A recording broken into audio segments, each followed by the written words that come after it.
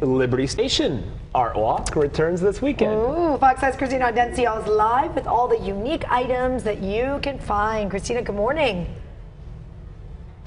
Well, good morning to you both. Did I hear Liberty say something about the drizzle? Yes, that's what's happening right now here at Liberty Station. We are here live, but I'll tell you what, the sun's going to come out in just a little bit and it's going to be the perfect weekend for Art Walk here at Liberty Station. We're in their 16th year. Kurt, let me bring you over here. He's the director of Art Walk. And so we are excited. You're in your 16th year. What can people expect when they come through?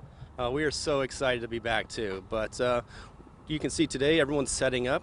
Tomorrow it starts at 10, it runs through 6 o'clock, and a Sunday also. Mm-hmm. But you can expect to see oh, close to 200 artists, wow. all original art, and just amazing talent throughout the whole weekend. And obviously, we have the local artists. We also have artists who are coming in from Mexico, so this is an international thing. Absolutely. So we do have whole sections that are from Mexican artists coming over. Of course, it's a little bit hard right now for border issues, so we're a little bit uh, have smaller numbers this year sure. than normal, but um, it's still amazing. I mean, over 200 artists, and then you also have live entertainment. You have food, so if you're coming in hungry, that's perfectly fine because you can you can see the artwork. You can obviously have a bite to eat. Bring the family and bring your pets.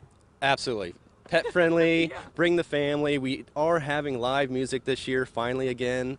Um, so we are being safe though, and yes. um, you know, absolutely, it's an outdoor event, so you know everything is going to be safe and everything like that. But you know what? We're looking forward to an amazing weekend. Absolutely, and we're here at Ingram Plaza, so we're back to the same location that they've had it in years past. Because obviously, last year, if you remember, uh, they had moved locations. But here's the thing: uh, we're all excited. Are you excited? I'm so excited. What's your name, my dear?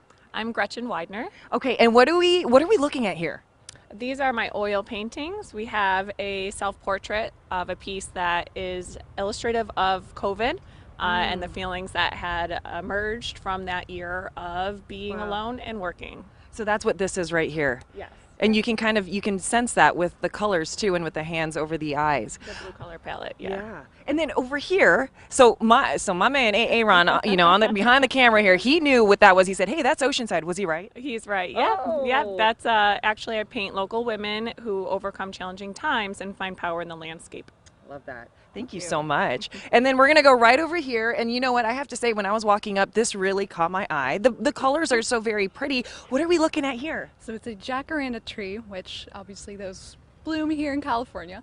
Um, they only bloom about two weeks out of the year, mm-hmm. and they they represent a blessing. So they fall oh. very a lot, oh. and once it lands on you, it's a it's supposed to be good luck. So hey, you know what? Very, I'll take it. Yeah, I'll take I'll all the blessings. I'll take all the blessings. I see a lot of landscape here. Is that is that kind of the inspiration? That is mostly florals and landscapes, and I do everything just with this palette knife, and I call it textured pointillism.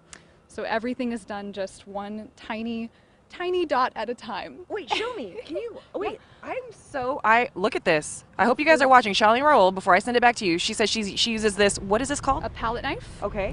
And I literally just do one dot after the other. Oh, wow. And it's my original style. I. Oh, I know. Here goes the plane. Perfect timing. Oh, well, so you know pretty. what? I'll tell you what. It's beautiful. You're obviously very talented. You guys have to get out here. It's going to be beautiful. Bring the kids, bring your I pets, and just enjoy the San Diego weather. Shali, I hear you. You're about to say something. No, I liked that purple with the tree one. The tree, the you know, yes. all the trees. You put, you could imagine yourself driving. There are places like that that really exist. I'm gonna take my mm-hmm. portrait of, of the baseball thing that I had. I'm gonna put it out there for mm-hmm. part of mm-hmm. Art Walk. yes. Christina, thank oh, you. Raul. So many talented artists. My goodness, I, I, can't draw a stick figure. I cannot draw you know? a stick figure. I'm right there with I you. I mean, you know, I try and it just looks off. Yeah. So shout out to all the artists. Thank you, Christina.